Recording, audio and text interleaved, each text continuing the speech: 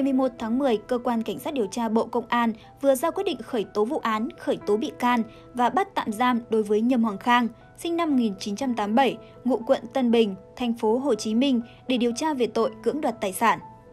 Theo điều tra ban đầu, Cục Cảnh sát Hình sự nhận được đơn tố cáo Nhâm Hoàng Khang đã có hành vi đột nhập vào trang web liên quan sai phạm hoạt động cờ bạc. Với trình độ IT cao, đối tượng đã đột nhập, nắm các dữ liệu, bằng chứng của trang web có sai phạm, rồi quay sang đe dọa tố cáo các sai phạm đến cơ quan chức năng. Đối tượng Khang yêu cầu chủ nhân trang web sai phạm nói trên phải chuyển 500 triệu đồng vào tài khoản của mình. Sau nhiều lần thương lượng, Khang đồng ý nhận 400 triệu đồng và tiền đã được chuyển. Tháng 7 năm 2021, Cục Cảnh sát Hình sự đã phối hợp Cục An ninh mạng và Phòng chống tội phạm sử dụng công nghệ cao xác minh, làm rõ nội dung cưỡng đoạt 400 triệu đồng của Nhâm Hoàng Khang. Do vậy, cơ quan điều tra đã khởi tố vụ án, khởi tố bị can, bắt tạm giam Khang khi đang về quê thăm gia đình ở thành phố Cần Thơ. Qua điều tra, Khang khai nhận đã lợi dụng sơ hở trong việc bảo quản, lưu giữ dữ liệu, bảo mật thông tin của tổ chức, cá nhân.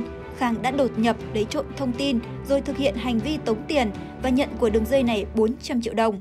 Trong giới công nghệ thông tin, Khang được nhiều đồng nghiệp biết đến với khả năng tạo ra các phần mềm hỗ trợ trên điện thoại iPhone và máy tính bảng iPad. Không chỉ vậy, lập trình viên này còn thường xuyên cung cấp các dịch vụ liên quan đến việc mở khóa iPhone lock. Do vậy, Khang được nhiều người gọi là hacker và cậu IT.